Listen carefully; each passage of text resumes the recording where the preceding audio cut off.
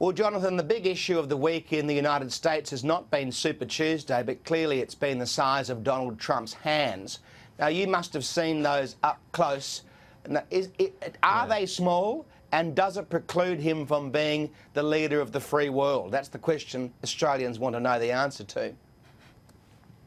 Well, just so your readers, uh, your viewers know, uh, this is a long-running issue for Donald Trump.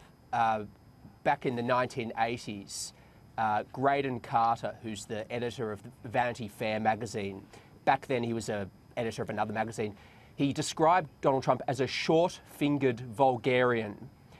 And Trump uh, took great offence and for the 25 years hence has been sending Graydon Carter photographs of his hands circling in uh, gold sharpie the size of his fingers and saying, see, not so small.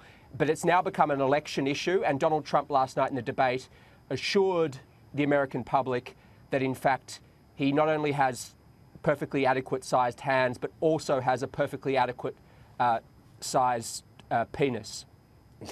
lovely. That's lovely. Well, well, of course, John. Sorry, Richard, you go ahead. On, on, that note. Oh, it happened. It's Christopher. On, on I, am not going to like use innuendo. I, I, respect your viewers. I'm not going to use innuendo. It was that that happened no, last fair night. Enough. I covered it. Well, of course, John yeah. Howard and John Howard and uh, Bob Hawke both had small hands, but you know, they were very successful Australian prime ministers. So, you know, is this really? Can, I, I, think he could probably be the president of the United States and still have small, delicate hands. I, yeah. I think it's a, I think it's a bit of a red herring myself. Yeah. But Richard, I don't want to interrupt you yeah. with your next question.